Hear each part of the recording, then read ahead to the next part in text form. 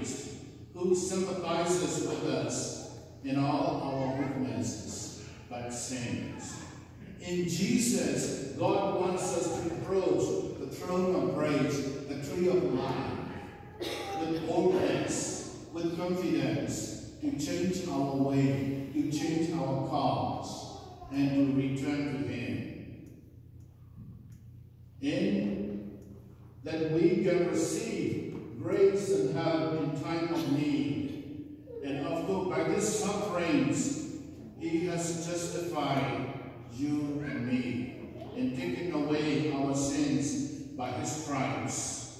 We have been healed by His blood and we have been restored to original dignity by giving us with His own life.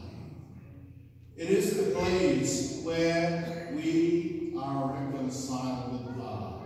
It is a place, an altar, that we are reconciled with one another. So that is always to return and change our way and come into the meeting place.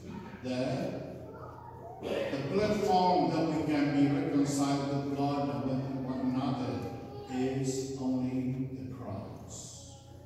Behold the wood of the cross, which man, the Savior of the world.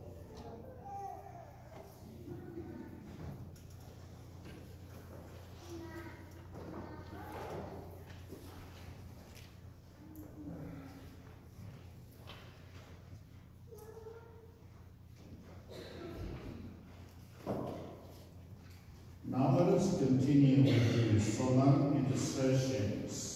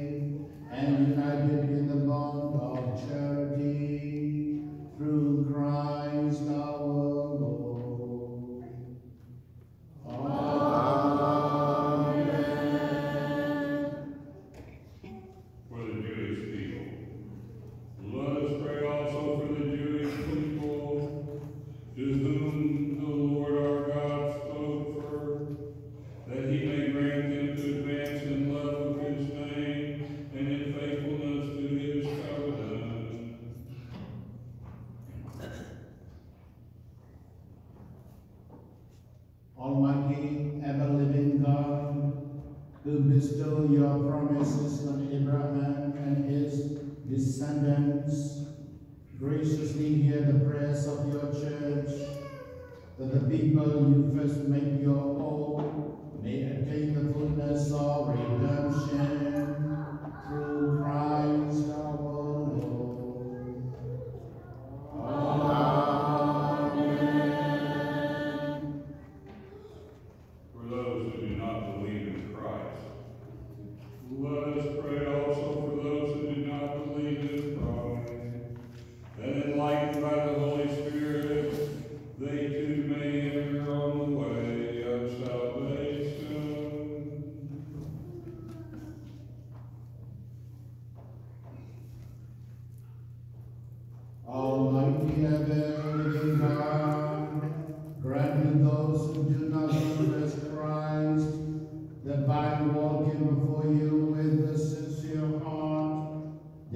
one that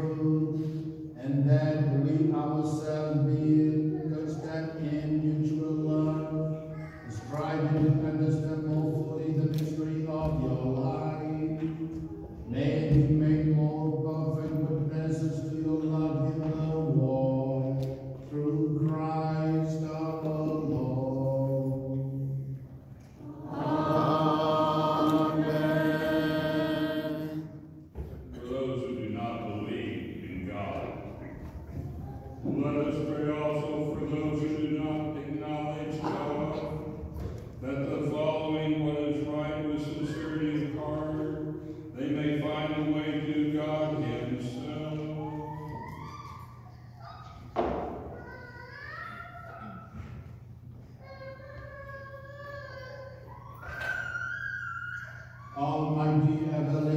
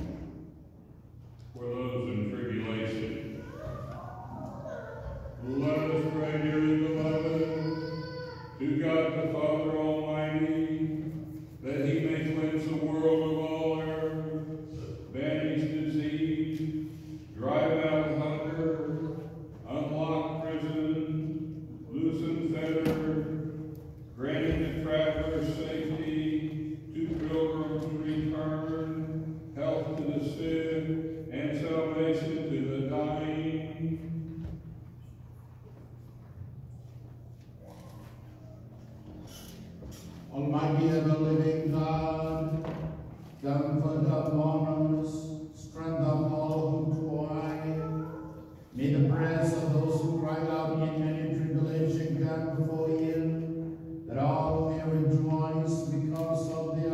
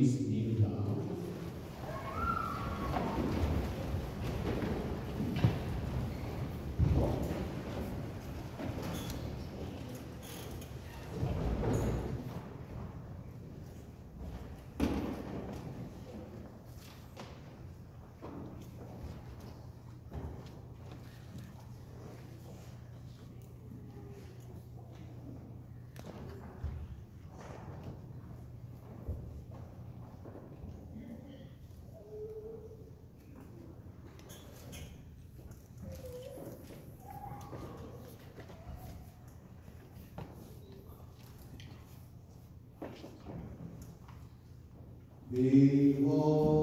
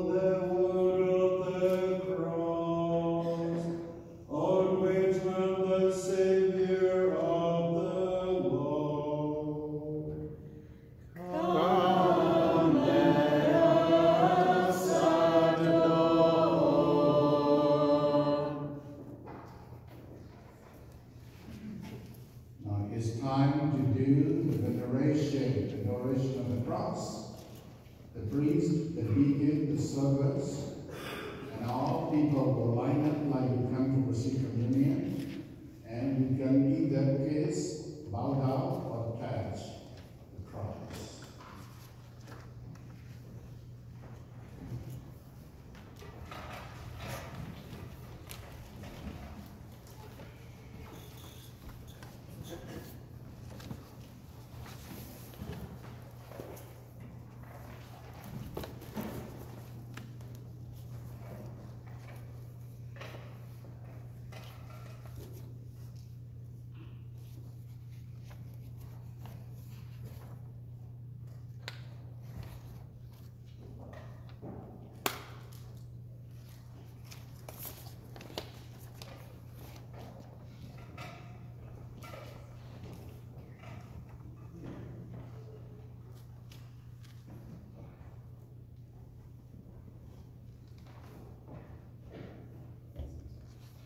Today, as we come to the narration of the cross, there is uh, two baskets for donation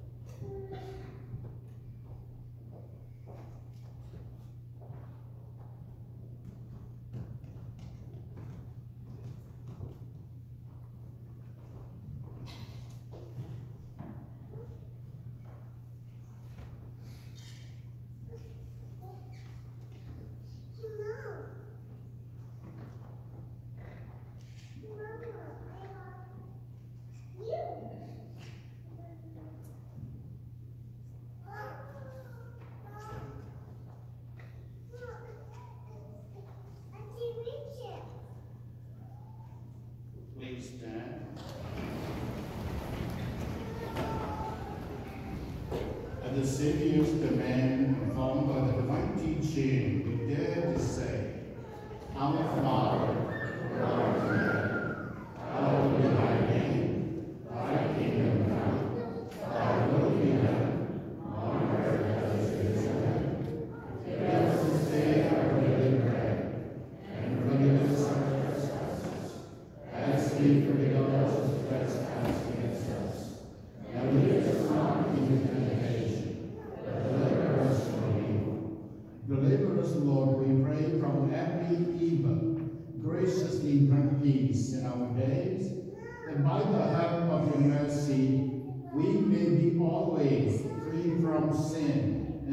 from all of this as we await the blessed hope and the coming of our Savior, Jesus Christ.